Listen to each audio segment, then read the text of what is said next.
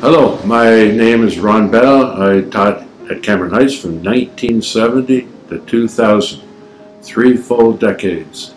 And uh, it seems like yesterday, 49 years ago, my wife and I, with our one-year-old son, drove down from London, parked our old Valiant across the way from Cameron Heights, and I went in for an interview for a job.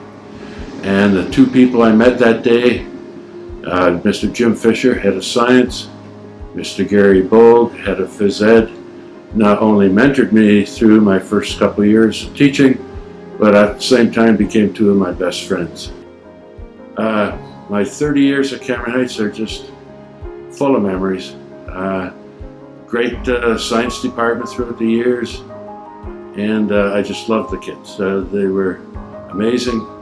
My feeling is uh, if you hang out with young people all your life, you do have some sort of youthful attitude to develop within yourself, and uh, that's what they did for me.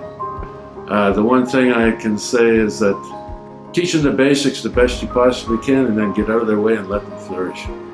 Um, like I say, once I started at Cameron Heights, there was no way anyone could force me out.